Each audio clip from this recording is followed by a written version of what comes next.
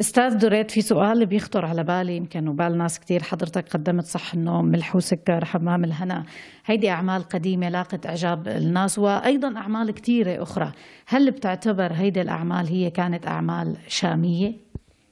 هي أعمال؟ شامية. أكيد. يعني هلا صح النوم عبارة عن فندق في بيئة شامية حمام الهنا نفس الشيء.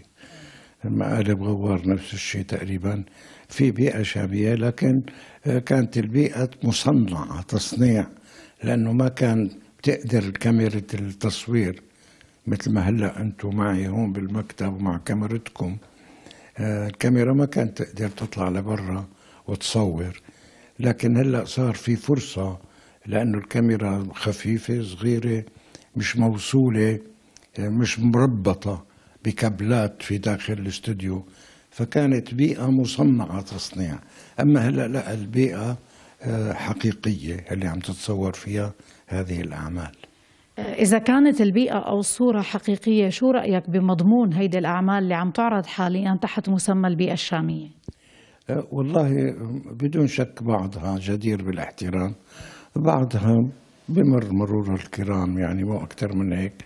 لكن برجع بقول لك بيبقى منها جمال البيئة كبيئة البيئة الشامية بحد ذاتها جميلة وخاصة بالبيت الدمشقي بالأزقة والحواري الدمشقية هي لحالها متعة للنظر في عمل معين أو مخرج معين بتحسه هو أبدع بالبيئة الشامية؟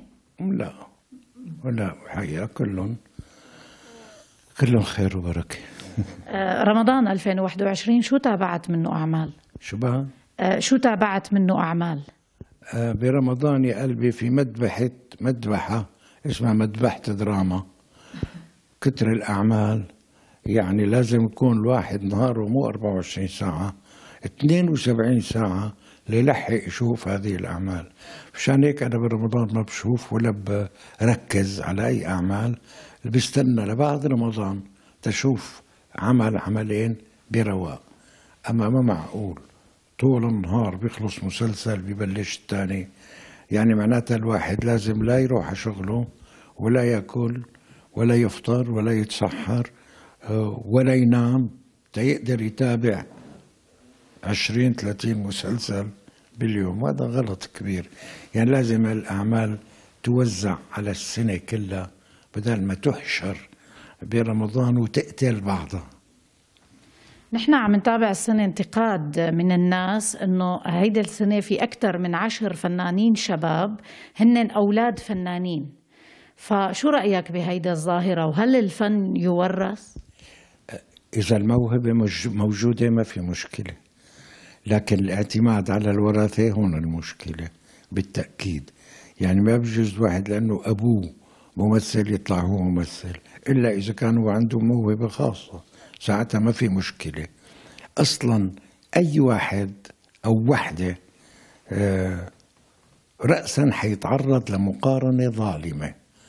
يعني مثل مثلا هلأ خليني أقول الأخوين رحبامي رحباني؟ وورثتهم شو ما عملوا رأسا بيقارنوهم بالأخوين رحباني؟ فبيتعرضوا دوما لمقارنة. قد تكون غير عادلة في كثير من الأحيان. فمشان هيك بده ينتبهوا لهالناحية إنه لحدا يدخل هذا الوسط لأنه أبوه أو أمه في هذا الوسط. هاي الجينات ما بتتورث لكن إذا في موهبة ما في مشكلة. أنا ما حتعرف حضرتك أكثر لكن سؤالي أولادك أنت أبعدتهم عن الفن أم هن ما كان عندهم هيدا الموهبة أو ما حبوا دخول هيدا المجال؟ أولادي ما حبوا كانت كلهم ميولهم علمية درسوا علوم وما حبوا إطلاقا. حتى كنت أنا أحب أعلمهم الموسيقى على الأقل. مو ليحترفوا الموسيقى لا. انه بتعرف الموسيقى بتريح في بعض الأحيان. يعني أنا هلا بعزف مثلا على على الأورج. بلحظات ما بالنهار بقعد بعزف برتاح. حبيت أعلمهم موسيقى وجبت لهم أساتذة موسيقى. ما في فايدة. اطلاقا. كان ميولهم علمية بحتة وراحوا باتجاه العلوم وعمره ما في يوم من الأيام حسيت أنه عندهم رغبة أو ميل لمسألة التمثيل أو الفنون. الأستاذ والفنان القدير دريد لحام شكرا جزيلا لحضرتك وشكرا للوقت اللي منحتنا إياه. لو سهلا يا قلبي كل عام وأنتم بخير يا رب. وانت